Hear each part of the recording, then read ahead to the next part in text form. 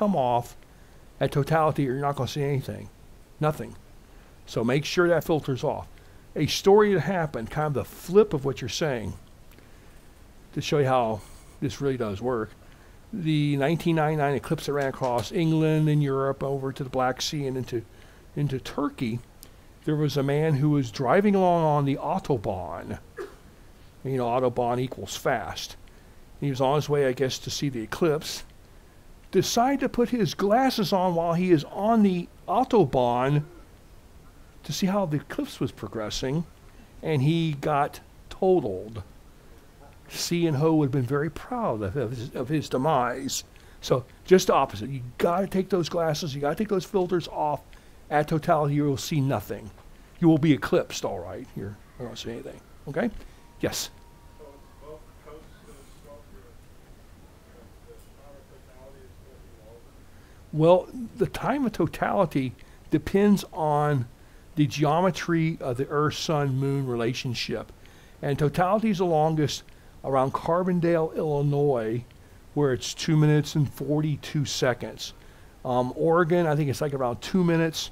By the time it gets out towards um, like Charleston or North Charleston, South Carolina, it's like about 2 minutes and 20 seconds because during that shadow will continue to go on out into the Atlantic Ocean. The eclipse isn't over, it's just over on continental United States. The fish get to see the eclipse next. Yes, please.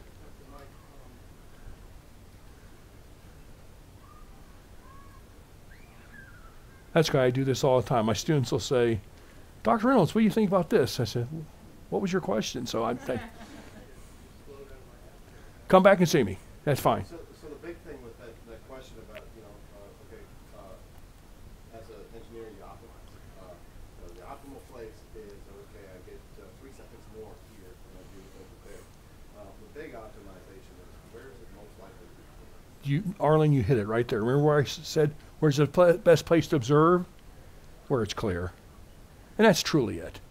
I'm going to St. Joe and um, helping Michael Bakich of Astronomy Magazine with their big event there. But we've all got eye on the sky. I know I can go west towards Nebraska or east more into Missouri, Kentucky, Illinois if I need to. So I kind of picked that spot to help Michael in this. What a great opportunity for outreach. This is our Apollo era today. For those of us who grew up dur- during that and got interested in astronomy and space, this is our opportunity here. So I want to do outreach. I know it's weird. Professional astronomers wanting to do outreach? Oh my gosh. Well, yeah, that's what I want to do. I want to share this with people. And um, I'm going to tell you what, be prepared. You've got the biggest astronomy club in the world. You may have the biggest one in the universe after this. Because people are going to get turned on to astronomy again. We've been waiting for the great comet to get people back out or another Mars apparition. This eclipse. This is our opportunity. Okay, good. Uh, do- Mike, do you have any uh, YouTube uh, videos of this presentation that we could share out in the world? I- It's actually, um, yeah, there was one made for NEAF. I was at the Northeast Astronomy Forum, and they did tape that so you can go to, to, to the NEAF. Yeah. And it's very similar to this one. Um, maybe not quite as spirited as this one, but yeah, the NEAF website will have it. So you can definitely go to this, this one will be up on our website. Other questions? All right, so let me ask one last question myself. Maybe I should close my eyes. No, I'm not going to. How many of you planning on going to the eclipse, to totality? All right, I shouldn't see every hand up in here. You really got you got to do this. You just got to. Don't make it a bucket list thing. You got to get to totality. Again, if you even have an inkling of life in your body, you got to get see it. But it's something that's you know, will change your life.